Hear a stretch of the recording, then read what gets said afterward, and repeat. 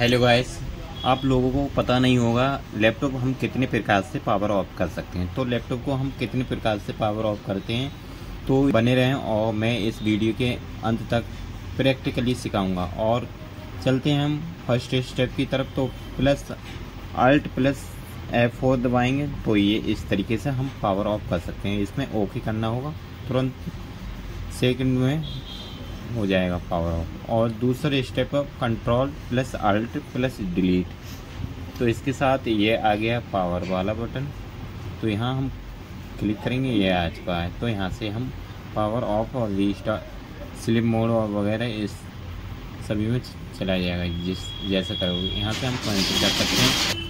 Third step third step ये है window वाला की दबाएँगे।